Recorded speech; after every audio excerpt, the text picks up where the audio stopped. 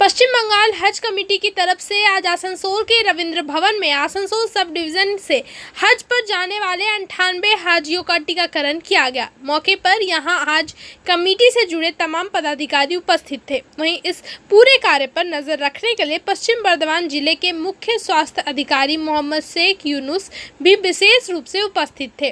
उनकी निगरानी में यह पूरा कार्य शुरू किया गया। इस बारे में हज कमेटी से जुड़े डॉक्टर जिसान इलाही ने कहा कि आसनसोल सब डिवीजन से अंठानवे हाजी हज के लिए जाएंगे उनका आज टीकाकरण किया गया बाकी इकतालीस हाजियों का टीकाकरण दुर्गापुर में किया जाएगा उन्होंने कहा कि पश्चिम बर्धमान जिले के मुख्य स्वास्थ्य अधिकारी के तत्वाधान में यह कार्य शुरू किया गया और पश्चिम बर्धमान जिले के स्वास्थ्य दफ्तर के अधिकारियों की निगरानी में यह पूरा काम बहुत अच्छे से किया जा रहा है আমরা রবীন্দ্র ভবনে এসেছি হজ ভ্যাকসিন হজ যাত্রী যারা আছেন তাদের ভ্যাকসিন দেওয়ার জন্য আটানব্বই জনের এখানে ভ্যাকসিনেশন দেওয়া হবে আর বাদ বাকি কিছু জনের দুর্গাপুরে দেওয়া হবে।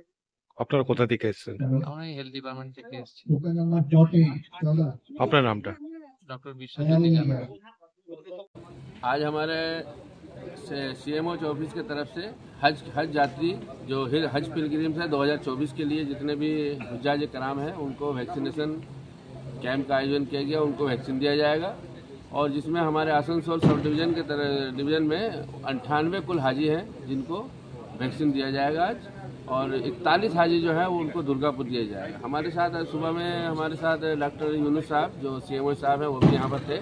अभी हमारे साथ ए सी डॉक्टर बी जाना साहब हैं। इनके सुपरविजन में हम लोगों का काम बहुत बढ़िया से चल रहा है। और तमाम किसी को भी कोई परेशानी नहीं है। तमाम हजाज कराम जो है, हाजमीन हज उन लोगों का उन लोगों को वैक्सीन दिया जा रहा है। कोई परेशानी नहीं, सब आराम से काम चल रहा है। और यहाँ जो पूरी ए सी एम ओ साहब हैं और C M O C MO office की पूरी टीम जो है यहाँ पर मुस्तैदी के साथ काम कर रही है।